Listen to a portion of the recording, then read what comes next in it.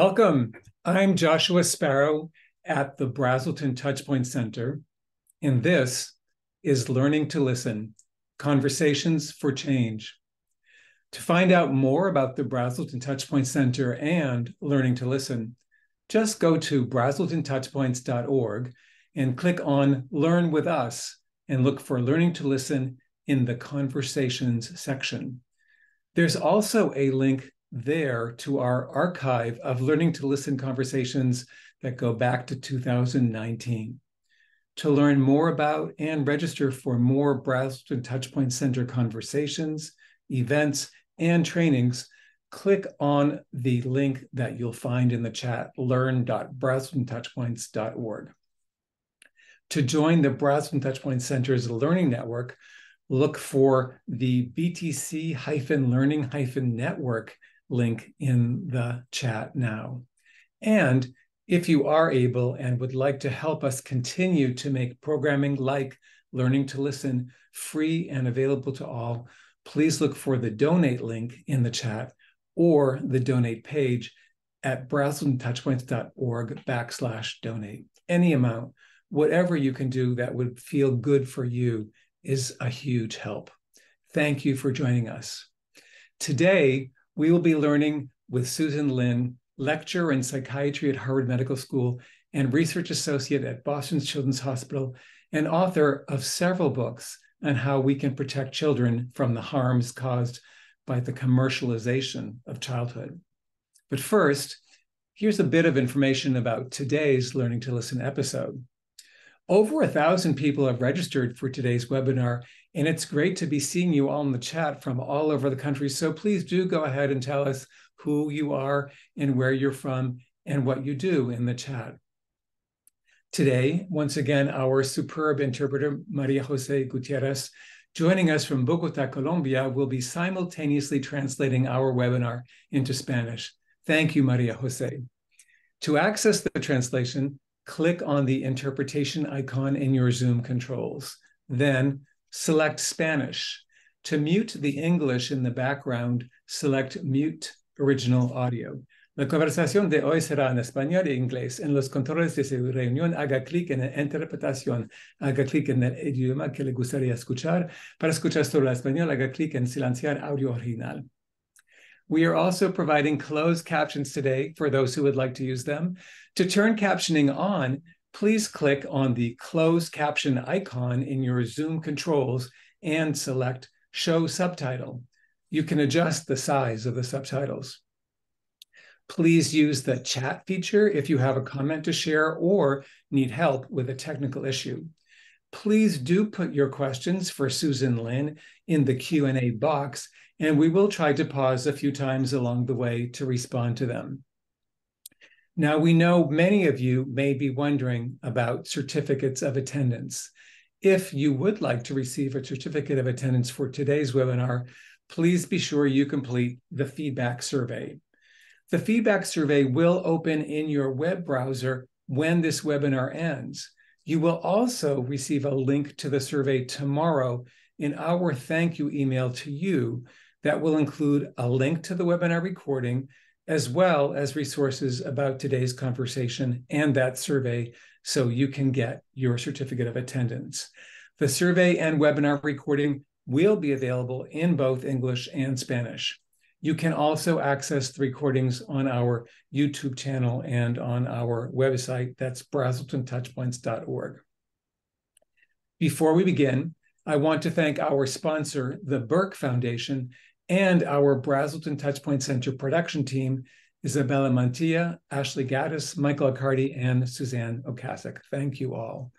And now I'd like to introduce today's guest, Susan Linn. Susan Linn, a psychologist, an author, and an award winning ventriloquist, is a world renowned expert on creative play and the impact of tech and commercial marketing on children. Dr. Linn's books have been praised in publications as diverse as the Wall Street Journal, Mother Jones, and the New York Times. A passionate advocate for children, Dr. Linn was the founding director of Campaign for a Commercial Free Childhood, now called Fairplay, from 2000 to 2015. And we will put a link to Fairplay in the chat as well. Dr. Linn has lectured on the importance of creative play, the impact of tech, media, and marketing on children, and on puppetry as a therapeutic tool throughout North America and in South America, Asia, Europe, the Middle East, and Australia. Dr. Linn is internationally known for her use of puppets as therapeutic tools for children. She pioneered this work at Boston Children's Hospital and the Children's AIDS Program, where she used puppets to help children cope with illness, hospitalization, death, loss, and other life challenges. Dr. Linn and her puppets appeared in several episodes of Mr. Rogers' Neighborhood. She has written and appeared in a number of video programs designed to help children cope with issues ranging from mental illness to death and loss, and most recently, stresses caused by the COVID 19 pandemic. Susan Linn, thank you so much for joining us today. Josh, I'm so happy to be talking with you. Me too. So, um, Susan and I have known each other for many decades. We won't say how many, and it is just such a delight to see you again. I just have to say, first of all, this book is so important. And I'm so glad that I get to do this with you because it meant I got to spend the whole weekend reading this book. And it is really a must, uh, it is a must read. You are um, a hero for me. And um, I thought maybe we could start out by having you tell us, if it's okay, a little bit about you and um, about your journey to your courageous advocacy on behalf of children. Um, and like everybody who's joined us today, um, the way you are with children and the way you hold them um, is um, just so inspiring. And I've been thinking about how um, getting to this with you today is, just brings a little bit of solace in these really challenging times, just because of um, your commitment to an understanding of children. So tell us how you, how you got here. well, first of all, thank you so much. Um, you know, I began life as a ventriloquist. I mean, I started as a child, and certainly as a child, um, play was so important to me. I mean, my best memories of my childhood are about um, all sorts of creative and dramatic play. So I started with that foundation. And then um, I earned my living for a lot of years as, you know, performing for kids and also playing with children using puppets, as you said, to help them talk about all sorts of difficult issues. Um, and somehow I've I've always believed that um, the well-being of children is really um, should trump just about everything you know and if we lived in a world that really valued children, a lot of the problems that we have in this world wouldn't be happening. So that's kind of what's always, you know, motivated me. But it's also um, my delight and awe in um, in children's development. I mean, it's it's just a miracle. I happen my um, my daughter has now a seven seven month old, and just being able to witness this little baby's development is astonishing, and how she practices her new skills just all by herself. I mean, she recently learned how to sit up. And when I was there, she was throwing herself back against a pillow and sitting up and throwing herself back. So um, in the in the 1980s, um, what happened is that television was deregulated. Children's television was deregulated. It became fine to create a program for the sole purpose of selling toys. And at the same time, communication technologies were just evolving at kind of breakneck speeds. So we had the development of this amazing seductive, addictive technology and really no regulations or virtually no regulation for it. And by the 1990s, um, I was working at Judge Baker Children's Center, and um, it became clear to me. I was working with Alvin Poussaint, who's a wonderful, amazing child psychiatrist, and um, he had started a media center at Judge Baker. And so it became clear to me that we couldn't talk about media without talking about advertising and marketing. And as the more I looked into it, the more concerned I became um, that the values, um, advertising doesn't just sell products, it sells values and behaviors. And the values and behaviors that advertising and marketing sells um, materialism, uh, me first, selfishness, basically. I mean, they're not good for children, they're not good for the world. And that's when I and my colleagues started campaign for a commercial free childhood. We look at advertising and marketing to kids as an issue of social justice. And basically, it's about the rights of children to grow up and the freedom for parents to raise them without being undermined by greed. Um, so that's kind of how it all began. Thank you, Susan. You know, one of the wonderful things about your book, and you just demonstrated to us when you talked about your granddaughter, um, is what a what a wonderful observer you are of children and how children are talking to you um, before they have words. Right. So to and you start off your book that way, and then you talk about the kinds of opportunities for play that children need so that a certain set of values emerge that are really antithetical to the greed and materialism that you just alluded to. So I, I wondered if we could sort of go back to the beginning and to talk about your your vision for what play needs to be for children to grow and learn and flourish for the development of those attributes like curiosity and compassion and creativity as well as self-regulation and critical thinking what does play need to be like and, and one of the things that i loved in the, in the first chapter was you brought back the revered british pediatrician and psychoanalyst d.w winnicott um, who we don't hear much about anymore, um, but whose work I think is deeply influenced all. So maybe tell us about um, where you where you see play needing to be before we then go on to talk about what's happening to it with digital technology and then what we need to do to mm-hmm. protect it. I mean, first of all, it's really important, I think, to remember that that play, creative play, hands on play, active play, is the foundation of learning creativity, constructive problem solving, and um, the capacity to wrestle with life to make it meaningful. And um, and children's creative play um, is a window into their hearts and minds. Um, it's a gift to them, and it's also a gift to us. And and you know, for neurotypical kids, play comes naturally.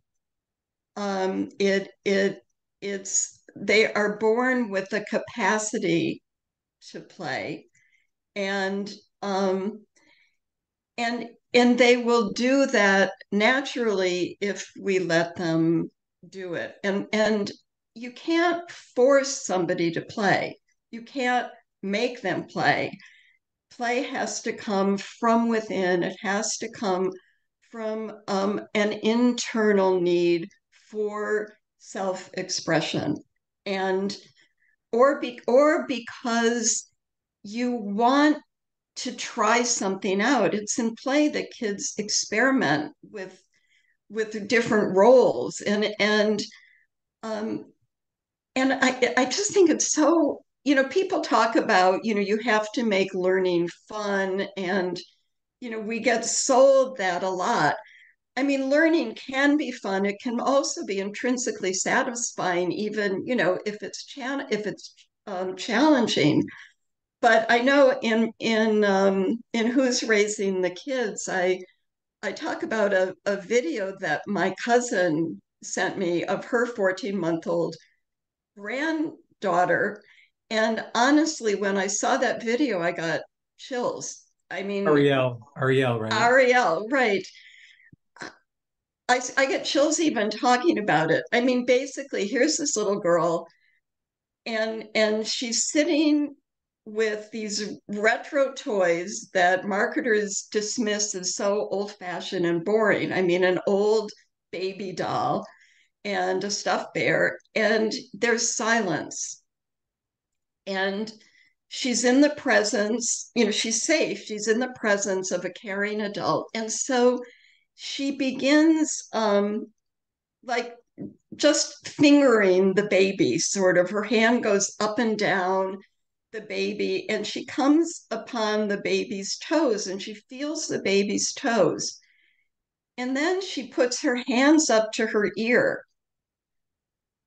I mean, you can see her kind of thinking protuberances, you know? I so something sticking but, out somewhere, but what? yeah, right. I know she wasn't thinking protuberances, but little things sticking out, basically. Right. And so she's feeling the toes and she feels the baby's that she feels her ears, but something's not right. And then her hand goes up the doll and it comes to the doll's ears. She feels the doll's ear. She feels her own ear.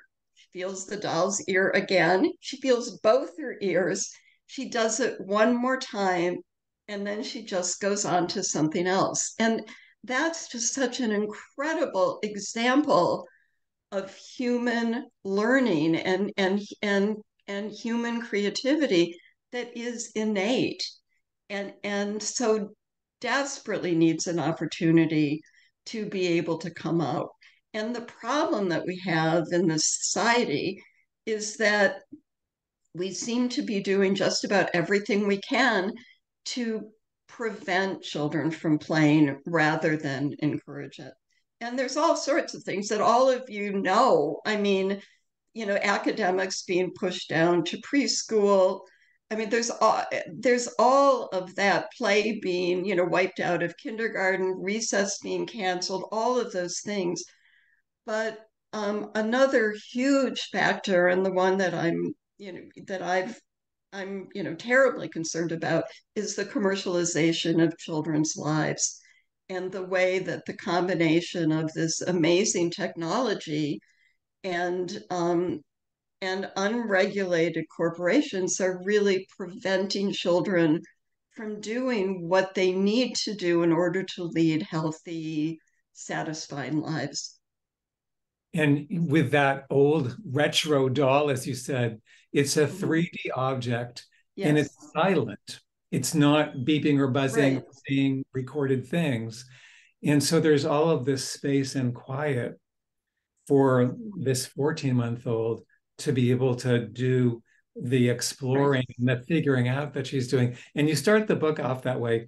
By the way, I should add, before you tell that story, I think um, in your introduction, you say, I am not here to make parents feel guilty. Yeah about their use of digital technology. And if anybody in my generation tells you, oh, just turn off the thing, you should tell them you have no idea what it's like in today's digital environment. So that that comes even before Ariel. But yes, but that's so tell, important. Yeah, it's so important. Yeah. I wanted you to tell one more story about retro retro um, toys that I think helps begin to sort of make the case for how digital technology is getting in the way. And that's a story you tell a little bit late in the book about when you give talks, you bring three puppets. Oh, right. Yeah. Yeah. They're also just really helpful to understand like the ways in which mm-hmm. the way children can explore and create gets mm-hmm. constrained. Mm-hmm. If you wouldn't mind telling us that story. Yeah. And Josh, thank you for um, bringing up the part about not wanting to make parents feel guilty. Honestly, I don't think it's ever been harder to be a parent than it is today. You've got this culture that is you know really undermining your best efforts and and providing you with false information about what kids need. So i think it's really really hard. And i begin um, all of the talks that i give by saying that um, because it's very it's i mean parents feel guilty all the time and um, and this is a really hard one and they need help I mean, you know, they need help from society. They need help from um, the people who work with kids. They need help from teachers. It's hard today to be a parent. Um, so, and now I forgot what the story was that you the wanted three, me to tell. The three puppets. Oh, one... oh, oh, right, the three puppets. Oh, yeah. So, um, yeah, yeah, I begin um, to talk to help people understand um, that when it comes to toys, really less is more. And the best toys, um, the saying goes, are 90% child and only 10% toy. And um, so I begin by bringing out a puppet that is like a creature, basically. It could, you know, and I ask the people, you know, in the audience to think about what is it, what's its name, and what does it say? And so what happens is that, and then I ask them to just call it out. And what happens is there what the what it is, this creature is just all over the map. It could be anything. And because the puppet isn't tell I mean, as human beings, we we we are wired to make meaning.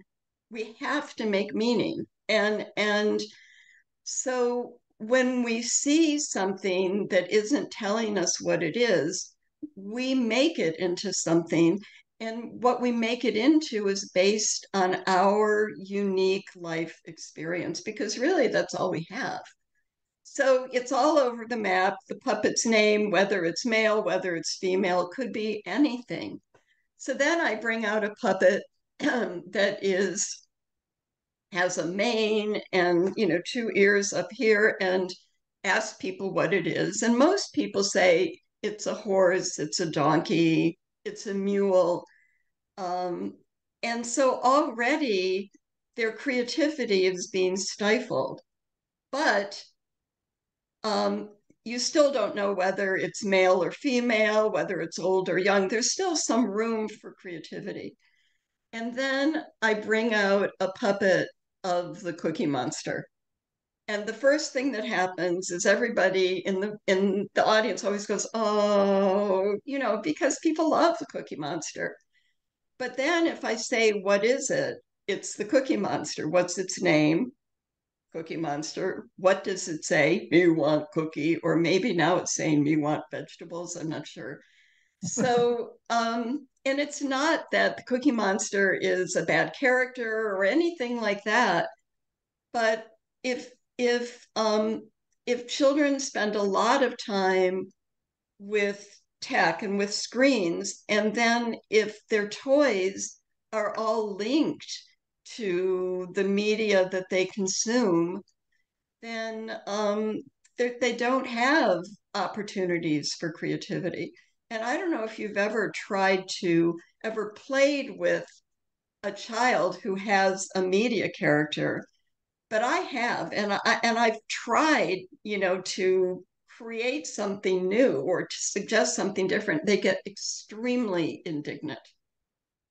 I mean, they hmm. know there there's a script that comes, you know, with this toy.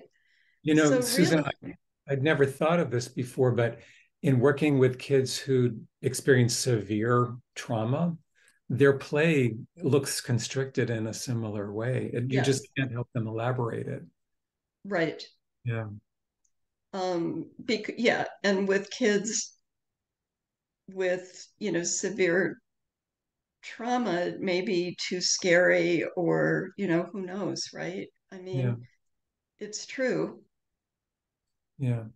So um, one one more um, uh, quote from your book to sort of set up how things need to be for children to flourish is actually a quote that you give from uh, someone whose name I will not pronounce correctly, Dacher Keltner, who's the oh, Docker, Docker ah, Keltner.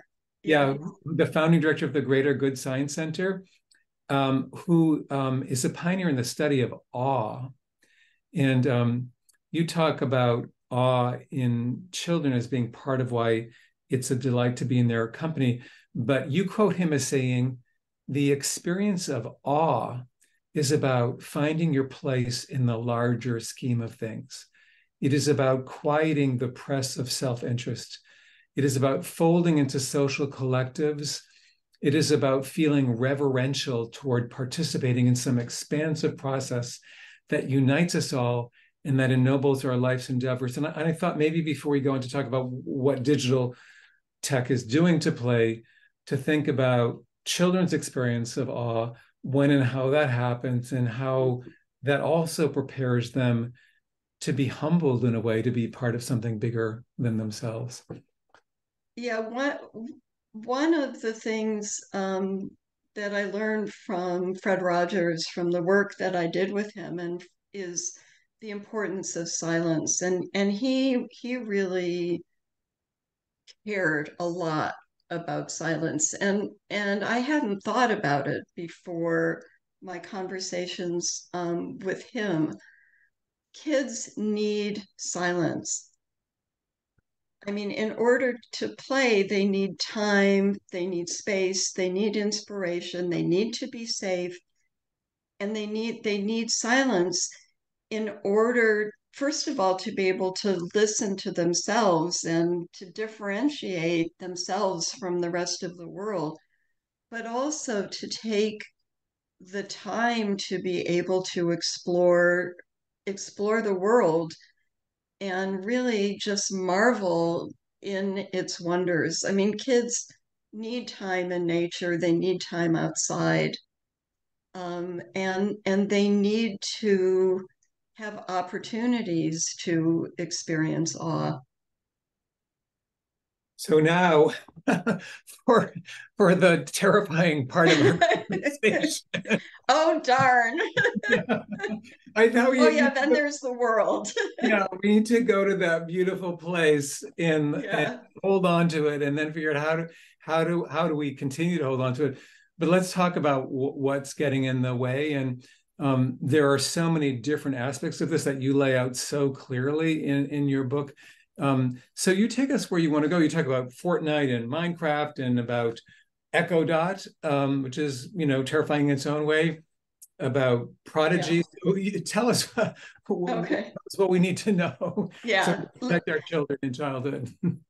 Let me just start out by saying that I'm not anti technology. I mean, I worked in television. Um, I'm doing a Zoom interview right now. I, I am you know, I I text, I Skype, I do all sorts of things on online. I'm as addicted to my technology as anybody else is really. I mean, I recognize that.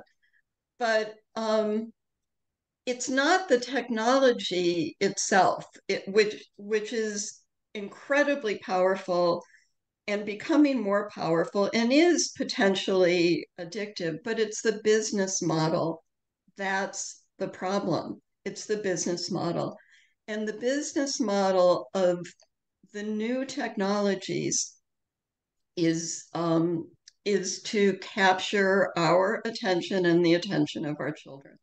And that's all that matters is capturing attention.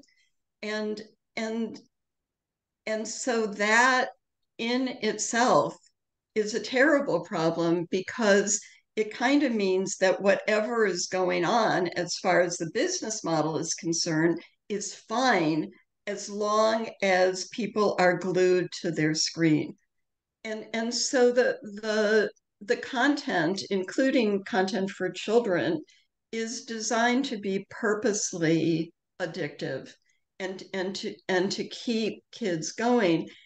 And you know, the problem is that uh, and one thing that's so annoying to me is that the tech the tech for kids and the tech for young children even the tech for babies it's all um, marketed as being sensory now if you go to YouTube, I find this so annoying. If you go to YouTube and just put in baby videos for babies, what comes up are all these videos marketing themselves as being sensory when when really what young children need is to explore the world with all of their senses not just to sit and watch something um, or to you know swipe and tap and you know and um, all of that and these sensory videos i mean some of them actually claim to teach babies language but what the research is telling us is that babies cannot learn language from a machine. They, it needs to be in a relationship with a human being.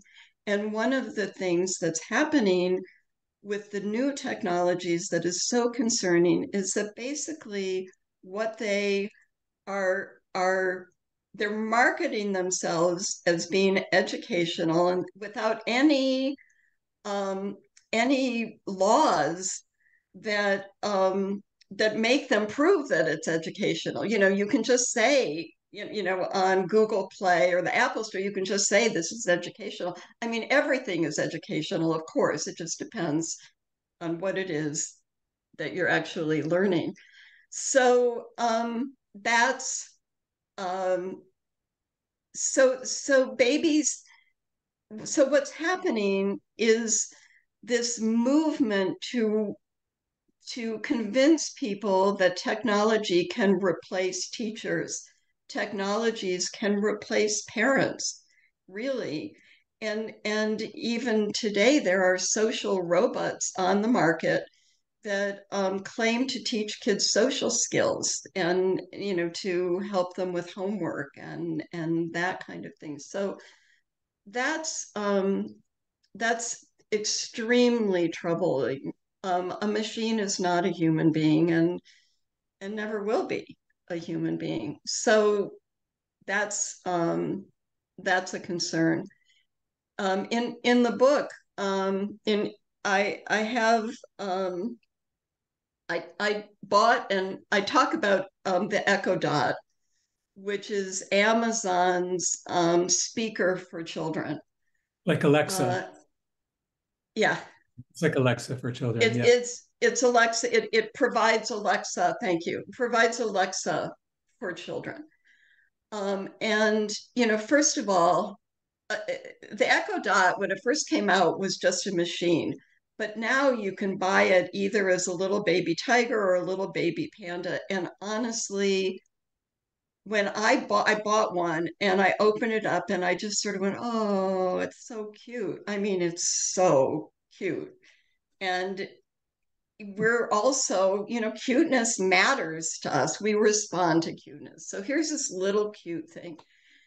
So I started out, um, Alexa has an I'm bored feature. So I started out with this Echo Dot and I said, I, I first of all, I lied about my age. I lie about my age all the time. Um, online. It's a good habit to get into, right? right, exactly. I'm 13, I'm seven, I'm six, I'm two, whatever. So I I lied about my age. I was a four-year-old. So so I said, Alexa, I'm bored.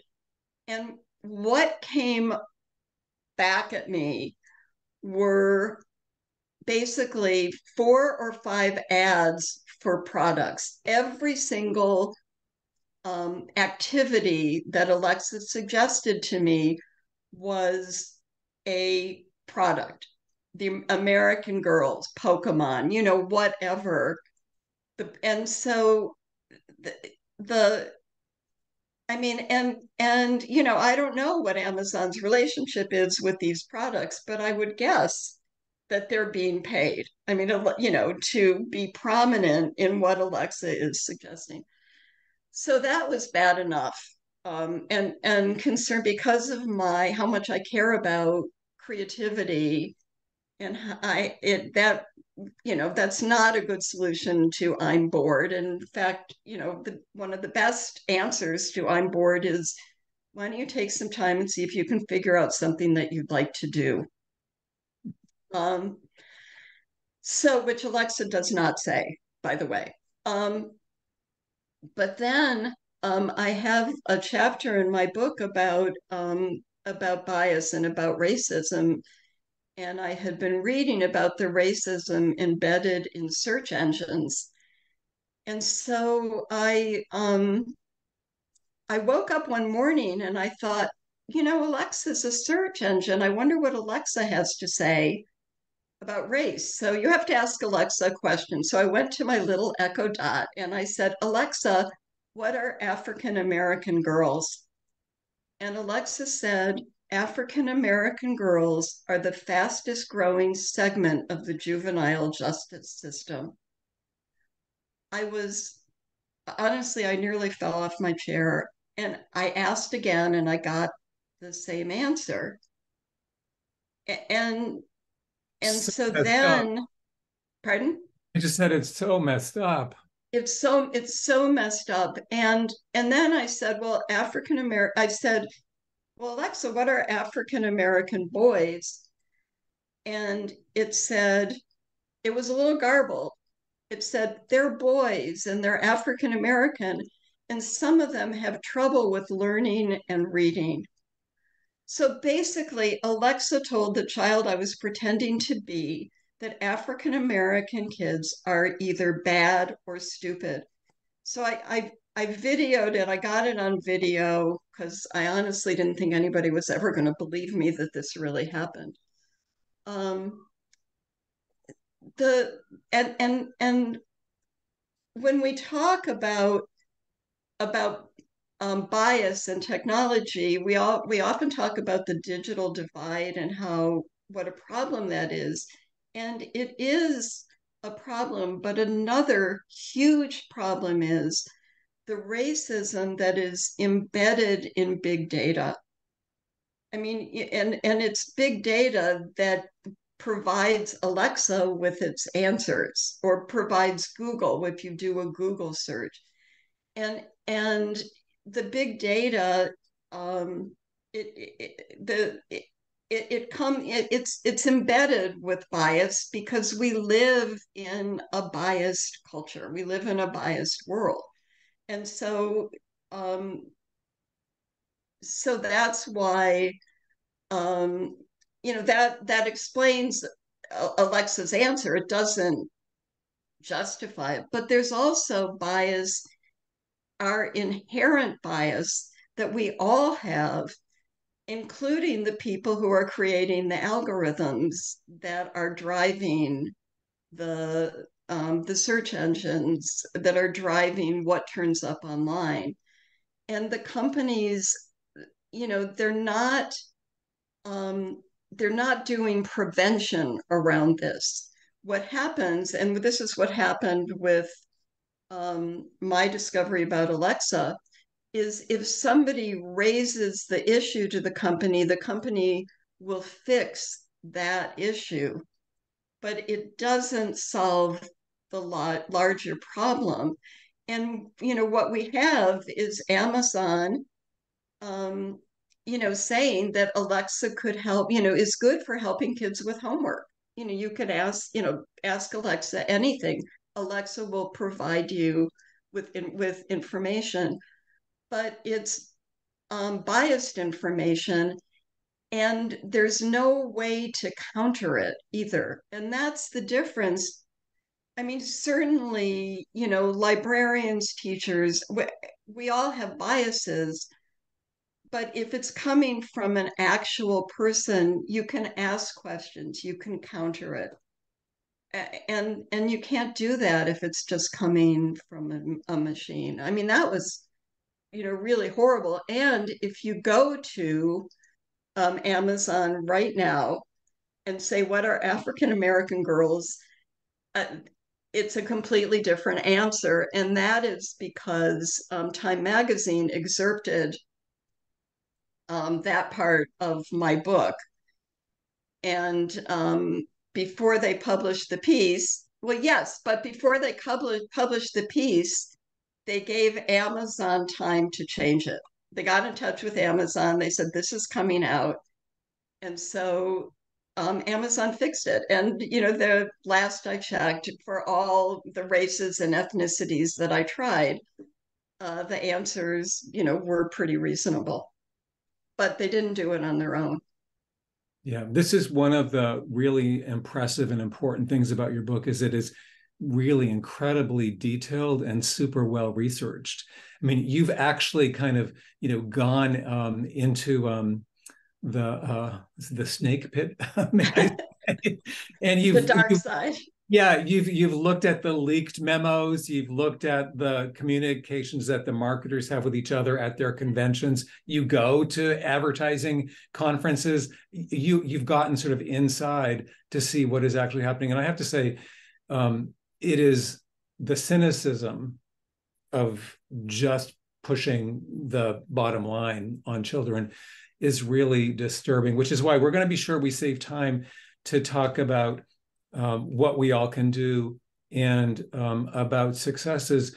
One of the other examples you give um, that is sort of related to this experience of children being quashed, whether it's having uh, their positive cultural, ethnic, and racial identities um, uh, uh, quashed or their socioeconomic status quashed, is the prodigy uh, program that so many schools have adopted, um, where you go into some depth about that. But I thought maybe if you, if you talked a little bit about the how prodigy harms children and sells um, itself as if it were teaching math, but doesn't really, that that could then lead us into uh, where some of the places are that that we can all act. Mm-hmm.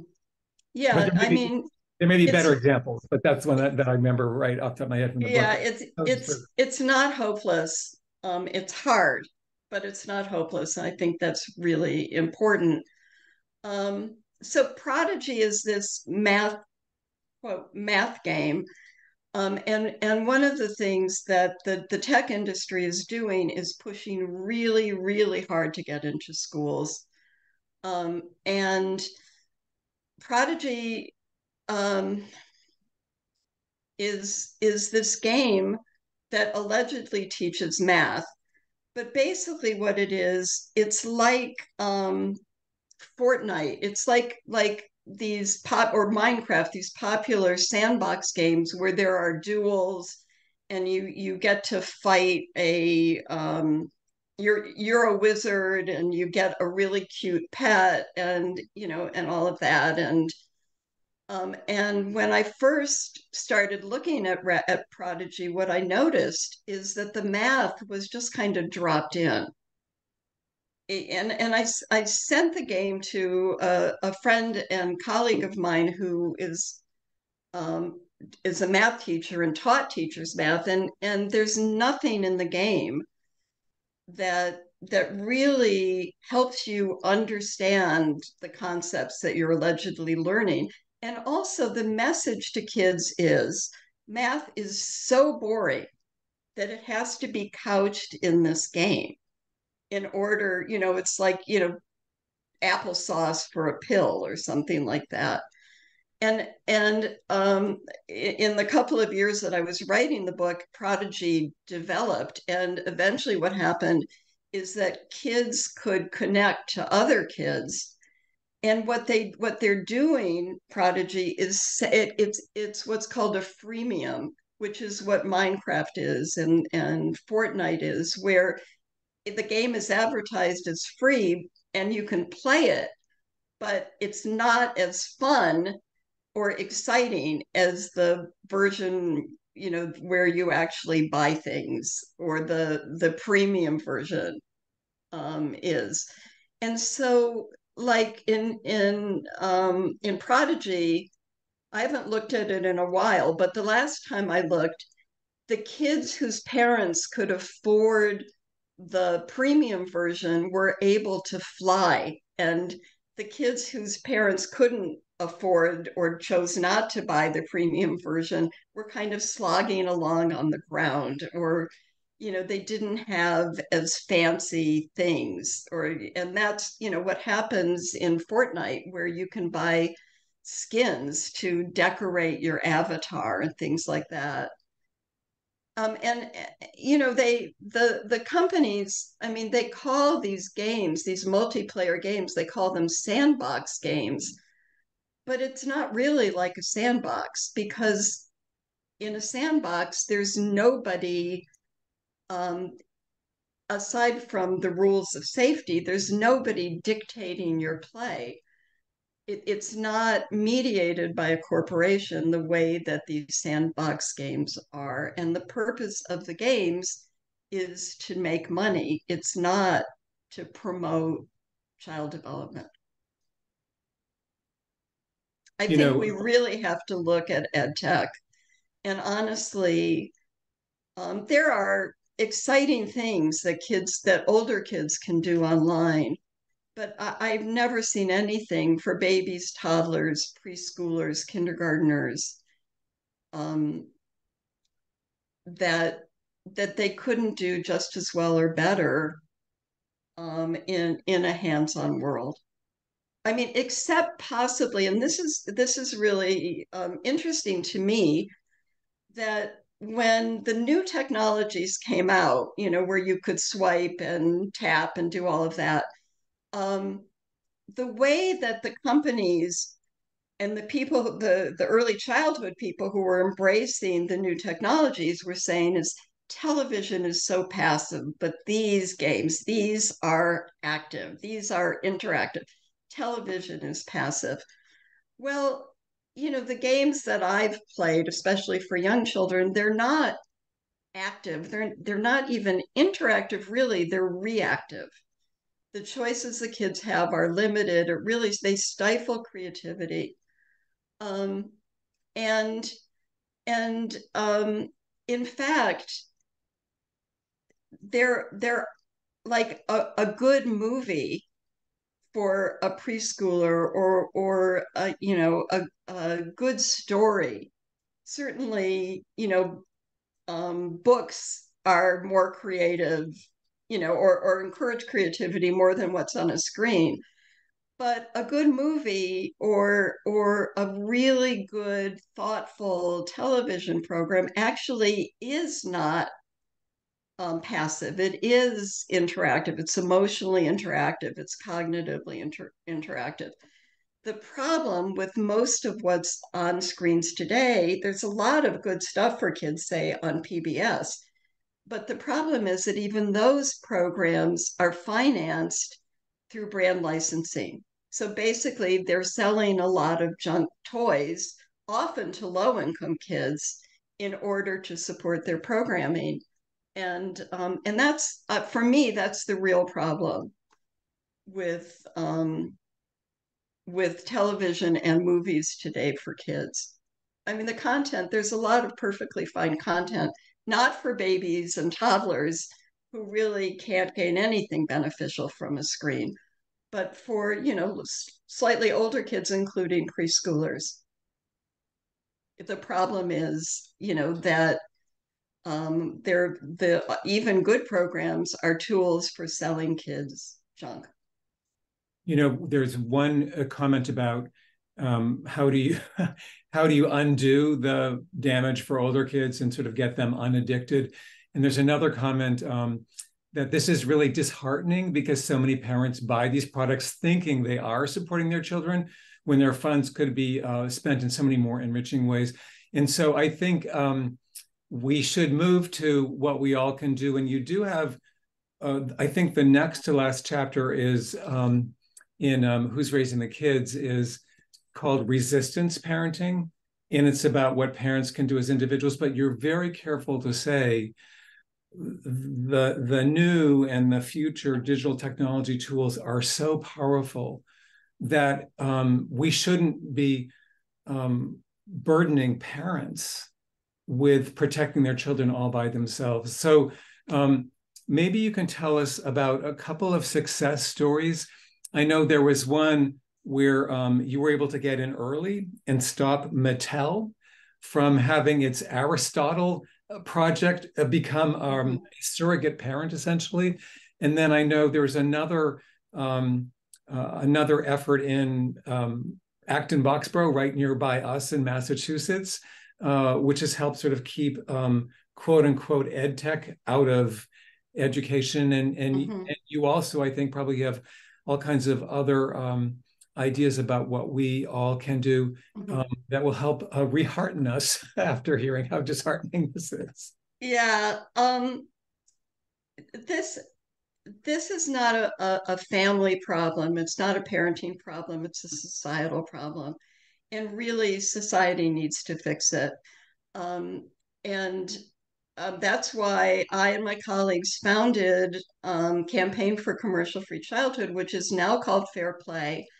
I um, I left Fairplay in um, let's see 2015, and I I am so thrilled at what they're doing. That it's they're doing just an incredible job um, raising awareness, but also stopping some of the worst of what corporations are doing. And one of the things that Fairplay did is um, take on Mattel's Aristotle, which was supposed to be this device that screen device that would grow with a child. So it would sing lullabies to a baby again replacing you know parents. It would tell stories to younger kid you know preschoolers and then you it would help kids with homework.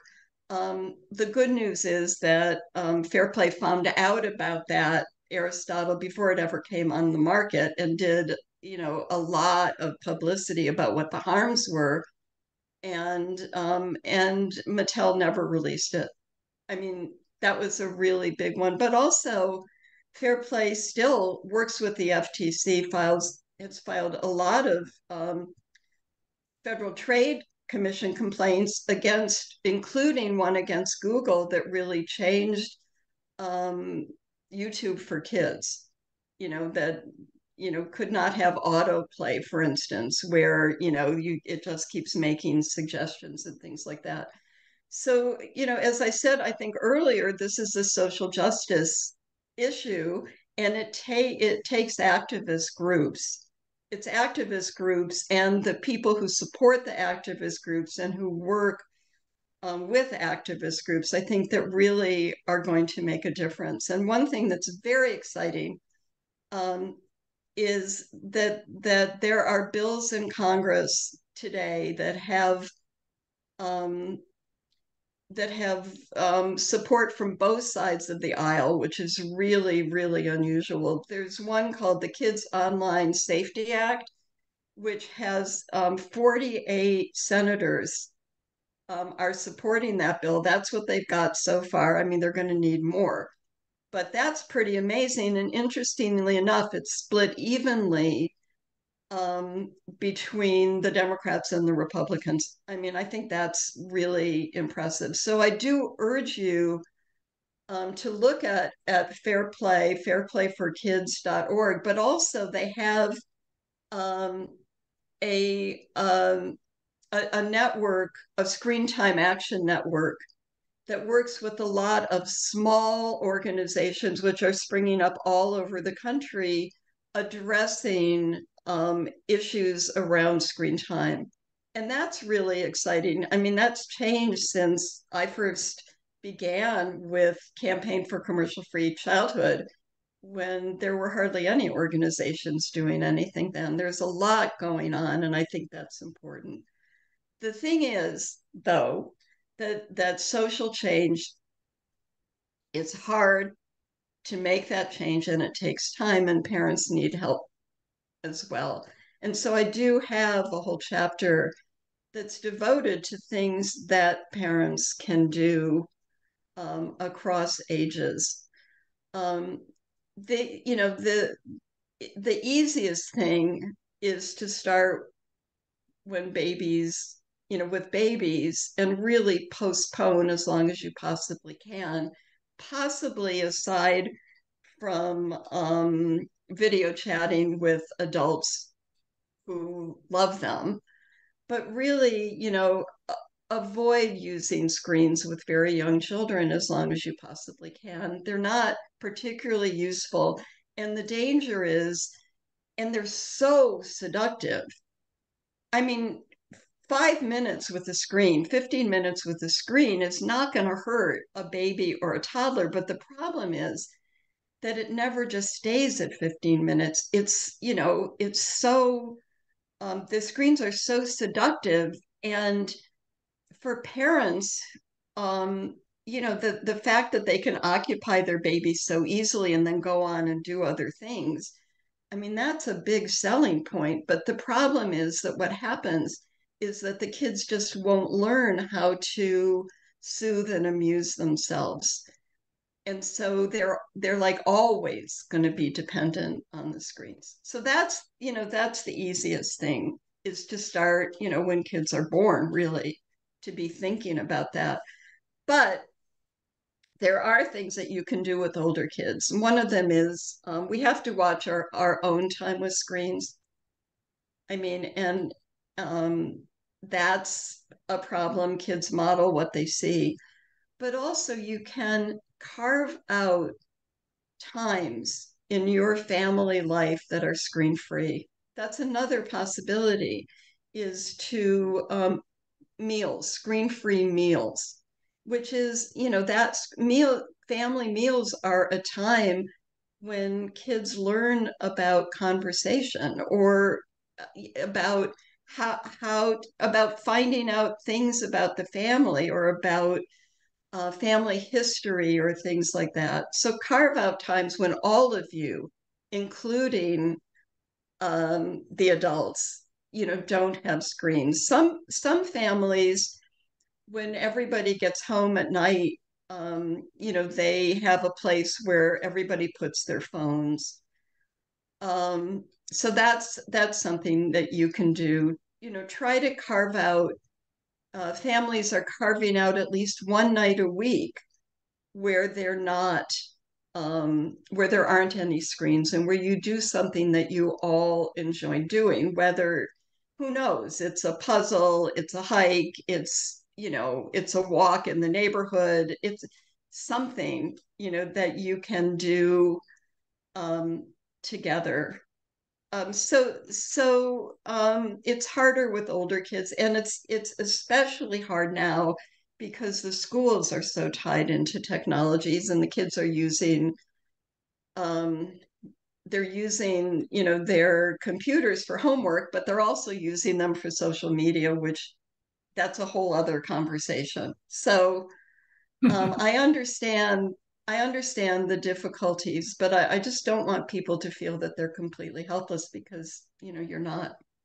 You know, you you gave one um, very concrete little tip in the book, uh, which was you know many of us struggle with our own addiction with our smartphones, and um, you're um, not at all judgmental of that. You kind of own your own, yeah. And, right? And you say one thing you can try is every time you reach for your phone when you're with your children to say out loud here's why I'm, I'm here's what i'm looking for on my phone right now to sort of create your own awareness of um, why you actually did that and to help your children have some way of understanding why you sort of pulled out of the interaction. The other thing you're reminding me of your book is just so full of what I think we all need to know. You, you cite this research that says that in this effort to get iPads into the hands of every kid in public schools, there now is data that says that the kids who have you know iPads for all their work are learning less well and doing less well even on standardized tests than kids who don't have iPads. So um, part of I think our struggle is to have our own critical thinking restored when we're being um, sold uh, things in the name of education or children's happiness um, that actually do um, just the opposite.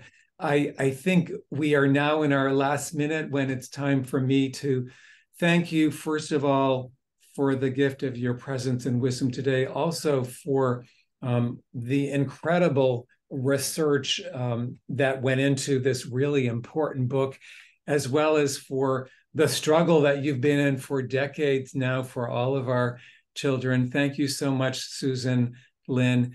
And I hope you all will come back again on Wednesday, December 13th at 3 p.m. Eastern for our next Learning to Listen episode.